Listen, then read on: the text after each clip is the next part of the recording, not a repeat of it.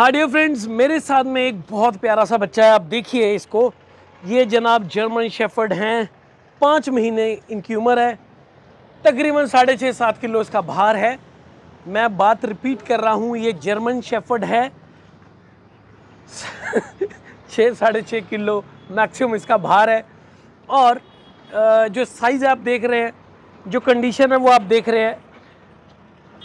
ऐसा ये पहला डॉग नहीं है दुनिया का। बहुत सारे पैटर्नर हैं जो डॉग ले आते हैं, लेकिन उनको ये पता नहीं होता कि उसको रखना कैसे है, उसे क्या खाने को देना है, क्या पीने को देना है। जो ये ये तरीका है ना डॉग को रखने का, ये गलत है टॉर्चर है। मैं बादल भंडारी हूँ और मैं पिछले 26 साल से डॉग्स ब्रीड कर रहा हूँ और मैं बिहेवियरिस्ट हूँ प्राउडली जब इस तरह का डॉग देखता हूँ, मुझे बहुत तरस आता है। इस पर भी आता है और फैमिली वालों पर भी आता है।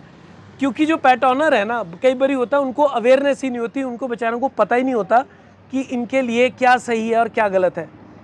इस बच्चे की आज तक कोई भी वैक्सीनेशन नहीं हुई। मैं बात रिपीट कर रहा हूँ, ये बच्चा पाँच महीने का है, इसको आज तक एंटी रेबीज़ नहीं लगी पप्पी डीपी नहीं लगा, कोई नाइन इन वन कोई इलेवन इन वन कुछ नहीं हुआ। और ज़िंदगी में एक बार सिर्फ़ डिवर्मिंग हुई है और उसका भी जो रिज़ल्ट है वो भगवान भरोसे आई एम नॉट श्योर कि वो उसका भी वो प्रॉपर दी गई या नहीं। दो रोटी दही के साथ में इसको तीन टाइम मिलती है। दो रोटी दही के साथ में तीन टाइम मिलती है। आप सोचिए डॉग को ज़िंदा रखने के लिए तो इतनी डाइट बहुत है, लेकिन अगर उसकी ग्रोथ चाहिए तो हम ऐसे नहीं रख सकते। उसको ये तरीका नहीं है, ये गलत है। मेरे पास में इसके जो ऑनर है, वो आए हैं। उन्होंने मुझे बोला, कहते, सर, ये ब्रीड बताओ कौन सी है? वो मुझे क्वेश्चन कर रहे थे, सर, ये ब्रीड कौन सी है? मैंने कहा, आपने क्या सोच के लिया था? वो कहते जी, हमने जर्मन शेफर्ड सोच के लिया था। मैं कहा, कोई बात नहीं होल्ड इट अब हम बात करेंगे, इसको खाने को क्या दे रहे हैं? वो अपनी तरफ़ से तो वो बेचारे सही दे रहे थे, लेकिन जितनी उनको नॉलेज थी मोर ओवर वो जिसके पास भी गए, जिस भी डॉक्टर के पास गए, या जिस भी, जिसके पास भी गए, इसकी सेहत को इम्प्रूवमेंट करने के लिए, पूछने के लिए तो वो, उन्होंने गाइड ही नहीं किया। पता, इसलिए वो रीज़न था, उन्हें खुद भी तो पता हो कि इसे क्या देना है, खाने को क्या नहीं देना। और अगर आपका डॉग भी इस कंडीशन में है या इसके आसपास की कंडीशन में है तो आप ये समझिए कि आपको एक प्रॉपर डाइट शेड्यूल की ज़रूरत है। हाँ हाँ हाँ मेरा बेटा हाँ हाँ हाँ। आपको एक प्रॉपर डाइट शेड्यूल की ज़रूरत है अपने बच्चे के लिए, जिससे वो ग्रो करे। आप यकीन कीजिए इसकी ट्रांसफॉर्मेशन हो सकती है। बिल्कुल हो जाएगी। एक और पॉइंट क्लियर कर दूँ।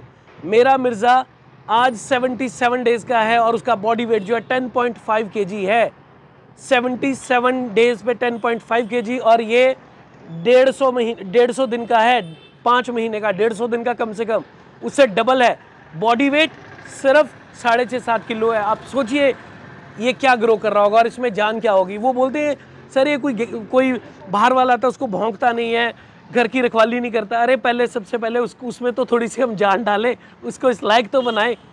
अगर आपको लगता है कि आपके डॉग की भी ऐसी सी कंडीशन है, उसकी ग्रोथ प्रॉपर नहीं हो रही, आपको पता नहीं है क्या देना है, खाने को, क्या नहीं देना उसकी बेटरमेंट कैसे होगी? आप चाहते हैं आपका डॉग हेल्दी हो तो आप बिल्कुल सही वीडियो देख रहे हैं। आप हमें व्हाट्सअप कर सकते हैं अगर आप अपने डॉग के लिए डाइट स्केड्यूल बनवाना चाहते हैं कस्टमाइज डाइट स्केड्यूल इस बच्चे के लिए मैंने बनाया है ऑफकोर्स फ्री ऑफ़ कॉस्ट नहीं बना के दिया। फ्री ऑफ़ कॉस्ट नहीं बना के दिया, मैंने चार्जेस लिए हैं। रीज़न अगर मैं फ्री ऑफ़ कॉस्ट दूँगा, उसकी कोई वैल्यू नहीं है। 99 परसेंट वैल्यू नहीं होती। ये से फॉलो भी करेंगे इम्प्रूवमेंट भी आएगी। मैंने रिक्वेस्ट करूँगा एक महीने बाद ला मुझे दिखाएँ। इसी बच्चे की ट्रांसफॉर्मेशन का वीडियो बनाऊँगा। अगर ये नहीं लेके आएँगे तो मैं इन्हें कॉल करके इनका नंबर लिया मैंने। मैं कॉल करके इनके घर जाऊँगा, साथ में चाय पी के आऊँगा और साथ में इस बच्चे का फिर से देखेंगे कि ये इन्होंने अगर इसे फॉलो किया है तो कितनी अच्छी ग्रोथ आई है। ये बच्चा एक महीने में 13 से 14 के तक चले जाएगा। मतलब अभी से डबल जाएगा ये बॉडी वेट में। अगर ये प्रॉपर फ़ीड सप्लीमेंट्स क्या कैल्शियम देना है, क्या मल्टीवाइटामिन देना है, क्या लिवर क्या हेल्थ टॉनिक क्या इसके बालों के लिए और क्या इसकी ग्रोथ के लिए। अब इसकी वैक्सीनेशन भी होनी है, इसकी डिवर्मिंग भी स्टार्ट हो रही है, वो सारे का सारा स्केड्यूल बना के दिया है। अब उसे फॉलो करेंगे और मैं साई से रिक्वेस्ट करूँगा कि साई इसकी जो लाइफ है, उसको बेहतर करो, ताकि ये अच्छा बढ़िया सा ग्रो करे और अपनी जो ज़िंदगी है, उसको खूब बढ़िया वाला इन्जॉय करे। जान ही नहीं है बच्चे में।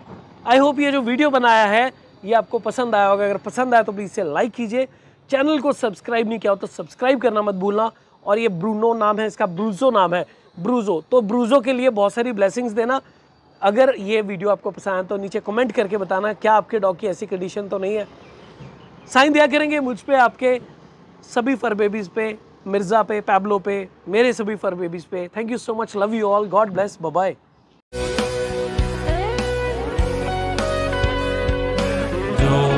your forever.